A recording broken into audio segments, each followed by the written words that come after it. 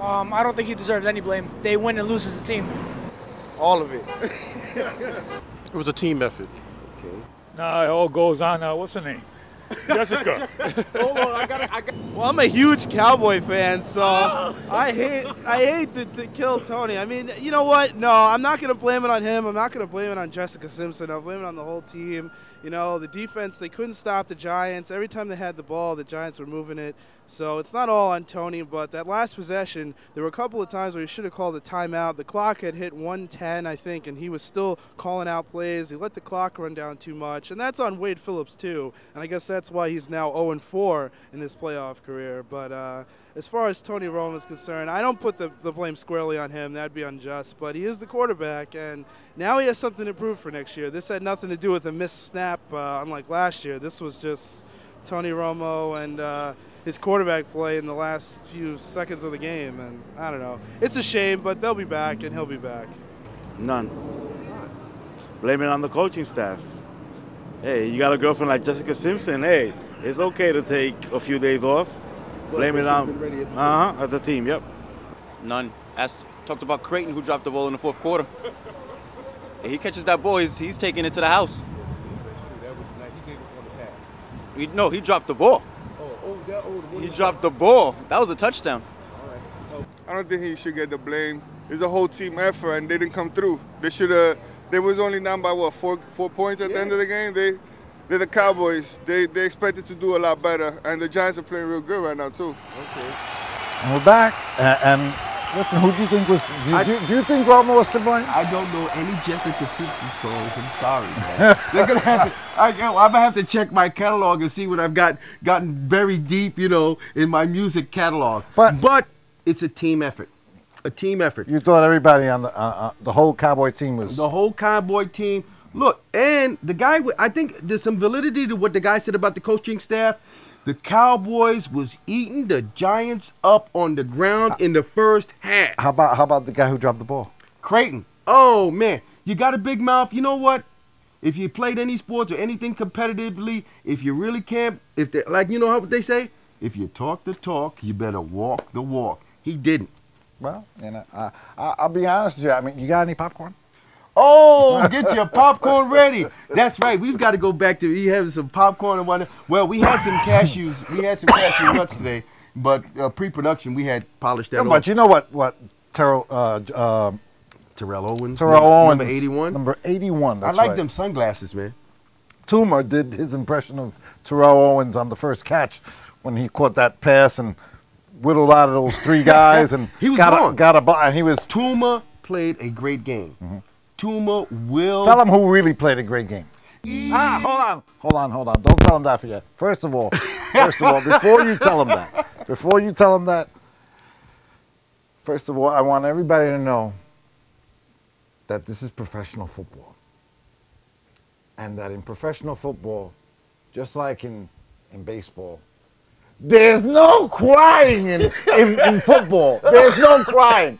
Terrell, stop crying. I'm going to get you a new box of popcorn and you'll be able to watch the Giants on your television set live from Green Bay. I mean, what the heck was going on? I mean, what was going through his mind when he's crying? This is my team. Wait a minute. He's my quarterback. He threw Donovan McNabb I under, thought the, he- under the bus. He Uh, threw Jeff the bus. Garcia under the bus. At these at his previous stops, he was a cancer on his quarterbacks who if you ask me, Garcia and McNabb have much better abilities and winning in them than Romo does because he's just riding the wave right about now. But Terrell Owens, come on, man. Uh, yeah, you know, I mean, You can leave my quarterback alone. I, I, I just Don't blame it on going to Cabo, man. I, I thought he, I thought he was going to tell tell us tell the American audience that it was him who was dating Jessica Simpson and, and she broke up with him. I mean, the way he was crying. So right. I mean, you know, what the heck right, is look, going on? enough of that. Eli played a great game.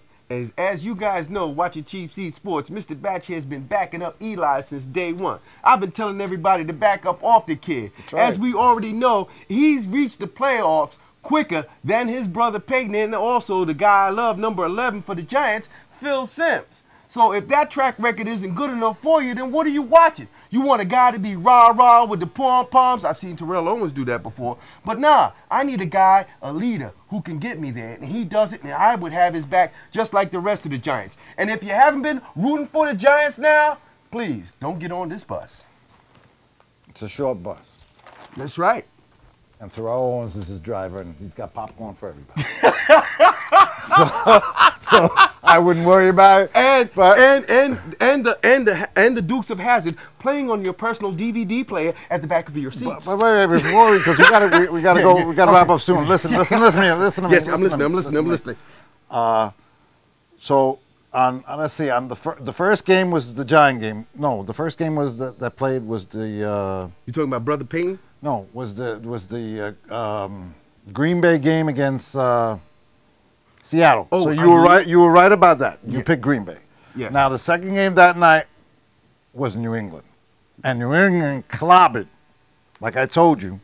You got it. Now, now, I got, you're gonna bring that I'm, up. I'm going, I'm- and yeah, there's people yeah. out there. I took a hit, all right? I There's people out there watching the show, and I don't really know.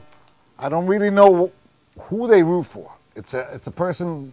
Yeah. I I, I I'm I'm gonna mention his name is. Uh, oh God, Hernandez. It's Mr. Hernandez, and you know who you are, Teddy Hernandez. That's right, Teddy.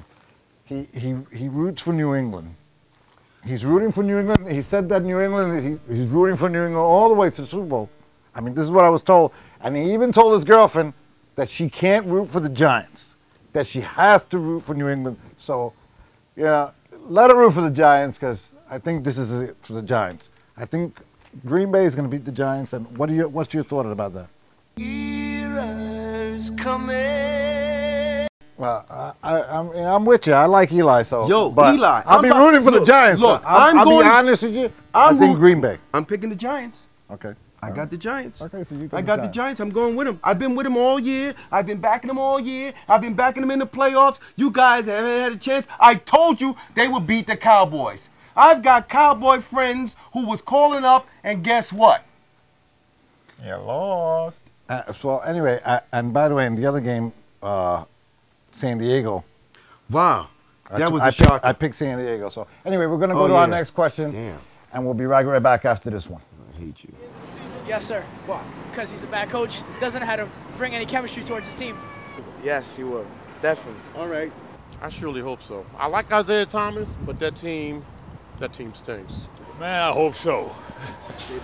I hope so. Okay. He shouldn't even start the season. No, I think uh, you know if he wasn't fired last year, the year prior to that, the summer and the beginning of this year, it's not going to happen. I think it doesn't matter what goes on at the Garden. They're convinced that he's the guy, and somehow, somehow he escapes trouble every time. I mean, he's I don't know, he's a slippery devil, that Isiah. But you know what? Uh, no, I don't think he's going to be fired. It's, I think most fans would like to see him go, and as much as they chant, it seems like the Dolans are just defying all odds. They're not going to fire Isiah Thomas. But it's a shame also because people are always going to remember him as a general manager and a coach, and they'll forget what a great ball player he was. And he's destroyed his own legacy in New York. Yes, he will. yes, he will. Nah. He's still owed another 12 million. He's stealing the money. It's cash. He's he, he's definitely stealing the money. Okay. All right. He's trying his best to get fired, but you know they ain't gonna do it to him. They ain't gonna do him a favor. He got to suffer with everybody. Basically, he's trying his best to get fired. Though I'll give it to him. But that getting ejected from the game the other night, he's trying his best, but nah, he, they're gonna make him suffer. This is you. You made your bed, lie in it. He should go and bring Kobe to New York. We need a superstar. No. No, you want him to stay? Yes. Oh my. Absolutely.